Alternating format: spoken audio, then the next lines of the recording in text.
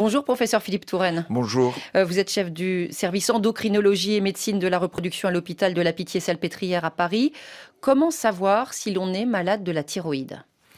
Alors ça, c'est un point important dans la mesure où euh, les, pathologies de la thyroïde, les maladies de la thyroïde sont très diverses et variées. Et ça, c'est un point euh, important à souligner dans la mesure où il y a des gens qui peuvent se plaindre d'avoir des signes d'hyperfonctionnement de la thyroïde, donc ce qu'on appellera une hyperthyroïdie, c'est une activité excessive de l'organisme.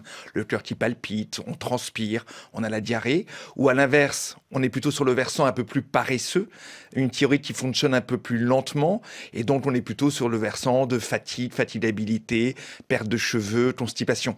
On voit bien qu'on a énormément de symptômes qui peuvent être très différents. Il n'y a pas un seul tableau, euh, je dirais, pour définir l'hyper ou l'hypothyroïdie. Et puis il ne faut pas non plus oublier qu'il y a les maladies de la thyroïde autour de des petits nodules, des petites tumeurs qui sont le plus souvent totalement bénignes. Il y a aussi les cancers de la thyroïde tous ces, tous ces ensembles pouvant nous, nous, amener à faire des bilans hormonaux et pourquoi pas à traiter par des hormones thyroïdiennes dans un certain nombre de cas. Est-ce que les femmes sont plus concernées que les hommes par ces dérèglements de la thyroïde? Oui, c'est ce qui se dit euh, schématiquement. C'est vrai que la prévalence, c'est-à-dire le, finalement le nombre de, de, situations de maladies de la thyroïde est beaucoup plus élevé chez la femme, ce qui a toujours amené à beaucoup de discussions sur la régulation par les hormones dites sexuelles comme les œstrogènes, des dérégulations du système immunitaire plus particulièrement à certains âges de la vie, pendant la vie génitale chez la femme.